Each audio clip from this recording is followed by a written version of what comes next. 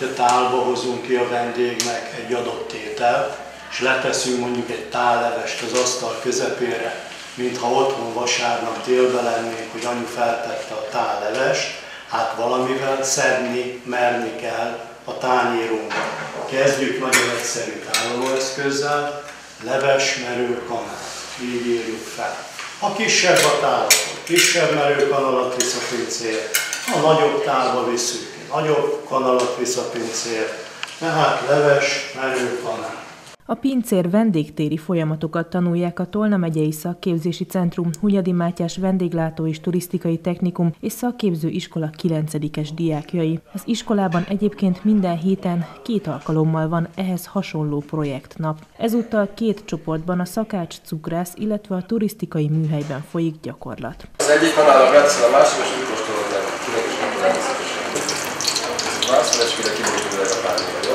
Az intézmény mindennapjaiban nem sokára mások is betekinthetnek, ugyanis nyílt napra készülnek az iskolában.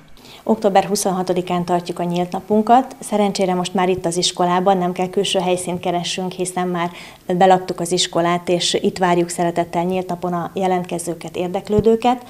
A nyolcadik osztályosok betekintést nyerhetnek a műhelyek titkaiba, egy kicsit ki is próbálhatják magukat, készülnek az oktatók, készülnek a diákok, várják őket sok szeretettel, saját kezükkel kipróbálhatják a szakmarejtelmeit. Alapvetően három ágra ö, iskolázunk be.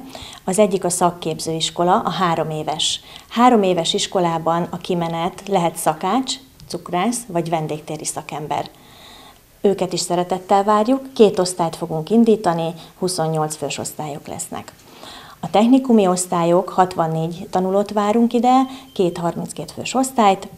Ő, náluk a kimenet lehet szakács szaktechnikus, cukrász szaktechnikus, pincér vendégtéri szaktechnikus vagy turisztikai technikus. Azok, akik októberben nem tudnak részt venni a nyílt napon, november 23-án még van lehetőségük becsatlakozni, illetve az intézmény rendszeresen részt vesz általános iskolákban pályaválasztási szülői értekezleteken, illetve pályaorientációs napok állandó vendégei is.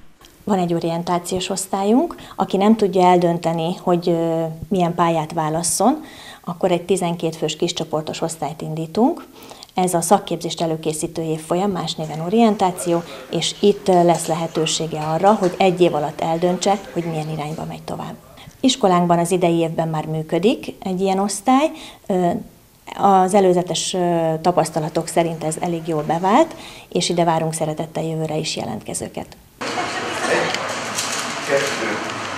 Három, négy. Tedd elég szívesen Mindjárt jövök.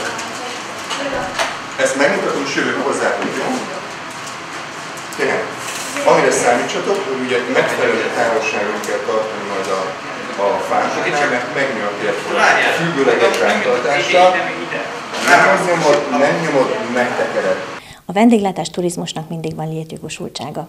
Tehát aki a vendéglátást választja és elhivatott, mindig el tud helyezkedni. Ebben a szakmában nagy a kereslet a szakma iránt, minden ága iránt, és aki elhivatott, egy szép karrier elé néz.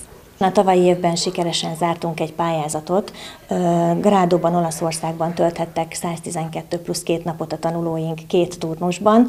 Sikeres volt a pályázat a Covid ellenére is, és az idei évben is pályázunk, igaz, hogy nem ilyen hosszú utakra, kicsit rövidebbre, ilyen néhány hetes Erasmus pluszos pályázatokat fogunk majd indítani.